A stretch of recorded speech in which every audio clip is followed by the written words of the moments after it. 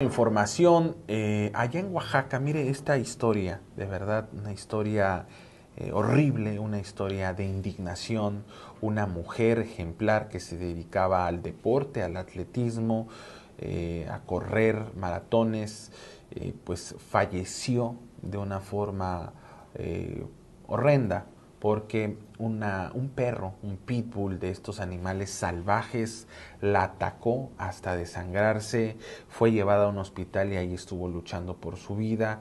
Y bueno, durante 20 días estuvo ella hospitalizada, desafortunadamente perdió dos piernas y también una herida en las manos. Se le complicó debido a las bacterias de, la, de este animal que le pasó a través de las mordidas y desafortunadamente pues ella, ella murió. Los familiares y amigos de esta deportista marcharon en la ciudad de Oaxaca para exigir justicia por la muerte de Isidra Torres Hernández, quien, es, quien fue atleta y falleció a causa del ataque de estos perros malvados, los pitbull. La, protesta partió de la fuente de las ocho regiones al Zócalo de ahí de Oaxaca, en donde se realizó un mitin frente al Palacio de Gobierno y demandó la atención de autoridades del gobierno estatal con el objeto de que se comprometan a que habrá castigo contra el propietario de este perro. Isidra Torres murió este fin de semana tras más de 20 días de permanecer hospitalizada a causa del ataque.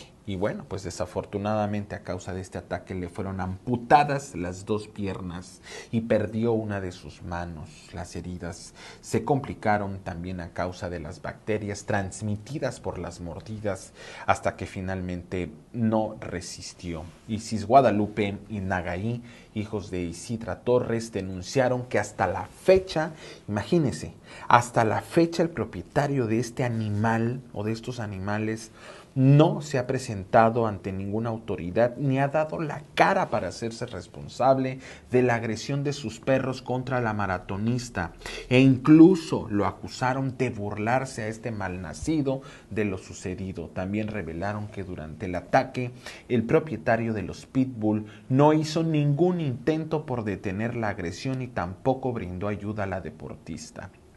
La Fiscalía General del Estado de Oaxaca informó que reclasificó el delito y ahora la muerte de Isidra Torres se investiga como homicidio culposo. El abogado de la familia de la deportista Gustavo Alejandro Cruz López confirmó que el dueño de los perros sigue sin hacerse responsable y planteó que debe haber una revisión de la legislación local para garantizar la responsabilidad de los dueños de los animales y que haya una atención a la presencia de perros en la calle, lo cual debe atender las autoridades sanitarias o el sector salud.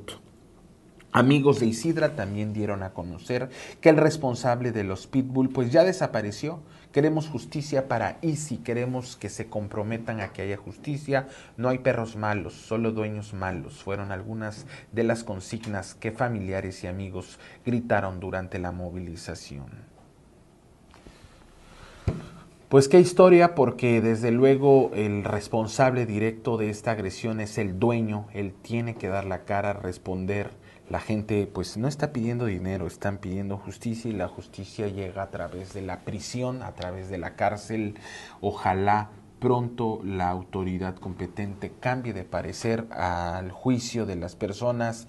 No es homicidio culposo, es un homicidio que tiene que clasificarse en otro sentido, pero el homicidio culposo lo que le va a permitir al dueño de los pitbull es que él pues pueda resarcir el daño a través de dinero. Y no se puede este, resarcir este daño a través de dinero. Tiene que resarcirse a través de la cárcel, a través de la prisión. Este sujeto de los pitbull, perros peligrosos, perros que dan muerte a seres humanos, debe de pagar con prisión. Y la legislación local en todas las entidades federativas